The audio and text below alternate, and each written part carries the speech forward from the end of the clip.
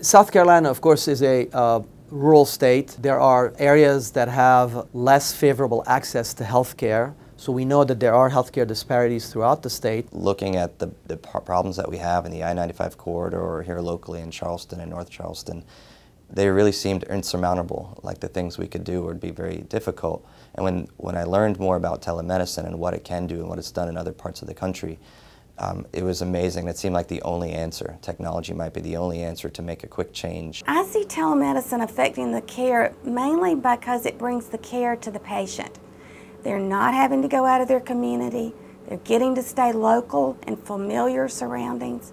I like to think of it as um, going back to the old days of, of doctoring where you, the doctor would walk around with a little brown bag and go and see all the um, and go and see the patients at their homes. You know, we've gotten to this model where the patients come to us and we sit, sit in a building somewhere, and now we're really actually bringing the care closer to that. So when people are, are concerned about the, about the new way of doing things, I like to tell them it's, it's more like what we all wish we could do. You know, I think we have uh, a, a, tremendous commitment to uh, telemedicine and telehealth in general here at MUSC, and it, it really starts at the top uh, with President Greenberg, but it's also manifest in the involvement of many groups with telemedicine efforts. The REACH program uh, is a essentially a partnership between MUSC and specifically the neuroscience service line, and within that the stroke group, uh, of which I'm the director, to um, provide critical stroke services to our partner sites. And we are essentially, we serve essentially as the hub. These delivery sites, or sometimes they're called spokes, are where the patient presents. The reason why the provision of critical services over telemedicine is so important is because there's a limited time window to treat the patient.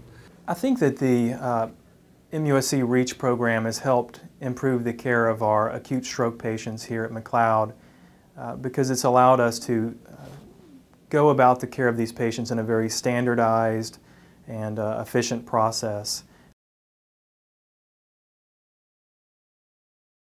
Maternal fetal medicine specialists are obstetricians that have additional training to deal with high-risk pregnancies. McLeod, the Pee Dee region, lost their maternal fetal medicine physician, and we went to help them continue providing maternal fetal care for the patients in their area. A lot of what we need is consultations from them, just some guidance on how to care for these patients.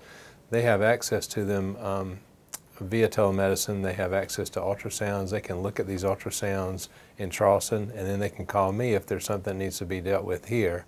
They are a resource and a complement to our obstetricians here. We have excellent care here for them and this sort of gives the obstetricians a place to confirm their treatment plans and we're able to keep a lot of these ladies in the community to deliver here. A virtual teleconsult clinic could be useful, at least in some settings, to provide patients and their primary doctors access to specialists without having the patient travel long distances, spend money, spend time, bring somebody with them. We're a very rural school and a very small school. We're about 22 miles from the nearest hospital and we are also medically underserved. So for our students, we were finding that they were either not getting health care that they needed or they were going to the emergency room. Kids have a hard time getting to care. They can't drive themselves. The parents are often working. Um, they can't take off work. Bringing the care right to where the children go. They all go to school. Just makes too much sense, and it's something that we can't ignore, and we have to keep trying. This really has allowed us to expand our practice to be able to offer services that we would never have been able to offer to our students. For the doctor, you really do provide, let them be this, the medical home center. You know, they can be the captain of their own ship. They can sort of be in there with the consultation if they want to. They know immediately what the results were. The patients are coming to them, so they don't skip that primary care provider. Uh, I've never felt left out of the decision, and I've always felt like I'm a part of that decision, and I appreciate that. We're their eyes and their hands, really. And that has been I found to be very rewarding for me as a staff, and I, I do feel part of the team. The patients, I think, like it. From what I can tell, it may be that we just need to get the physicians to catch up a little bit because it represents such a departure from of what they're used to. The patients really like it. Uh, they think it's cool, it's like something in the movies. Um, they feel like uh, they're getting the latest, the most up to date in their care. I predict that over the next few years we'll actually be doing more things with telemedicine. I think it's really going to grow. I'm very excited about the future of telemedicine. I think it has the potential to, to reshape medicine in the future. It may be the technology of the future.